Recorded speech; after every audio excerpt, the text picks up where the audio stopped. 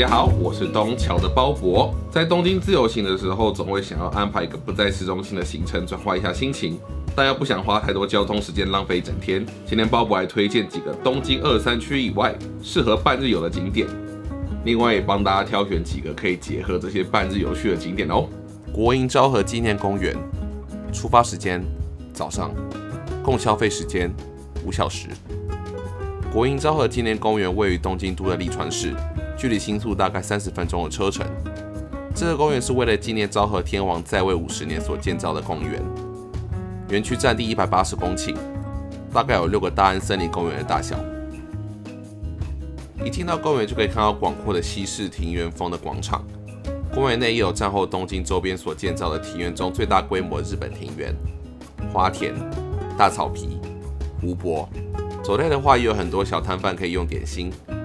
如果腿力不太好的话，可以花五百二十日币搭乘园内的小火车移动。结束国营昭和纪念公园，我们建议搭乘中央线二十分钟前往吉祥寺。这里是一个很棒的逛街天堂。当然，喜欢自然的话，可以逛吉头公园。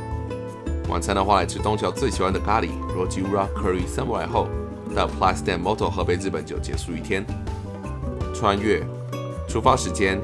早上，共消费时间六小时，穿越距离池袋只需要三十分钟的车程，是东京近郊旅游的知名景点。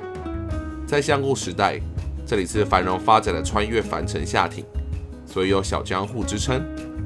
室内沉积、神社、寺院、古迹、历史建物众多，在二零一一年被国家指定为历史都市。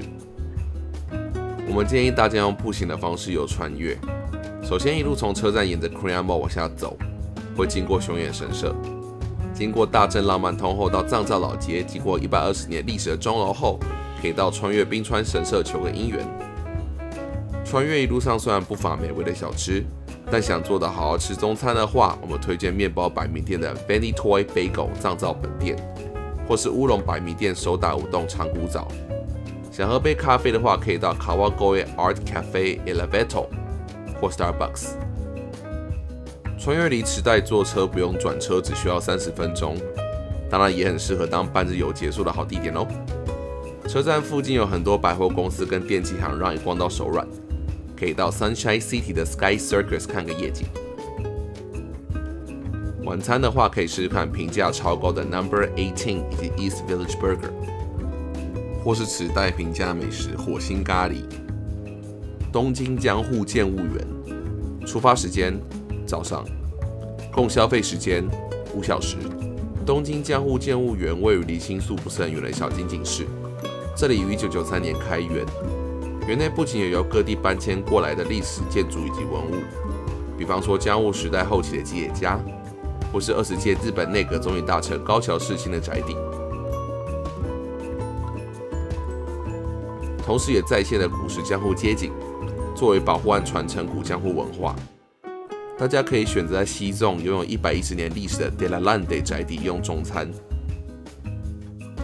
从东京江户建物园搭巴士以及中央线到新宿大约四十分钟左右。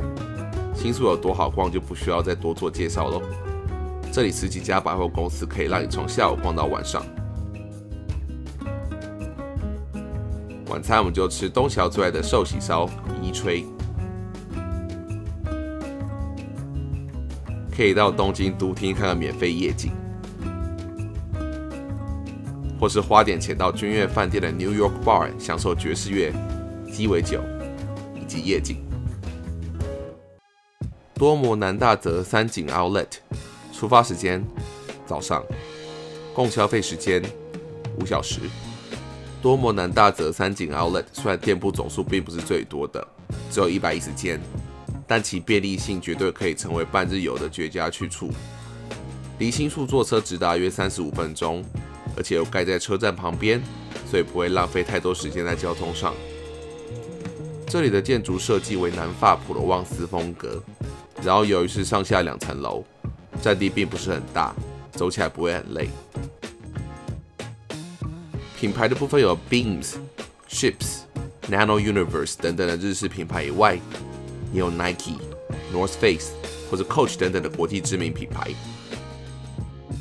喜欢购物的人应该会喜欢这次的半日游。结束 Outlet 的行程之后，我们坐车三十五分钟可以到达古着天堂下北泽。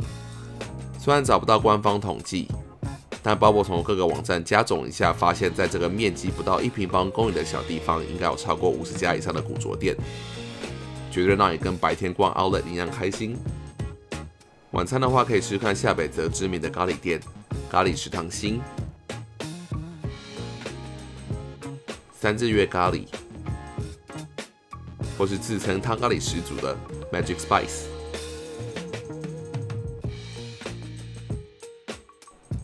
横滨，出发时间下午，共消费时间五小时。横滨是一个两天一夜游、一日游或是半日游都很适合的地方。如果选择半日游行程的话，我们建议下午到晚上的横滨半日游。那白天的时间，我们可以从代代木公园悠闲的散散步，一路往涩谷的方向走。到涩谷的时候，可以先逛逛街。大概下午一点的时候，我们可以到希卡利耶百货的第四期食堂吃吃看日本四七个道都府县特产所制的定时当中餐。吃饱饭之后，我们就可以出发到横滨。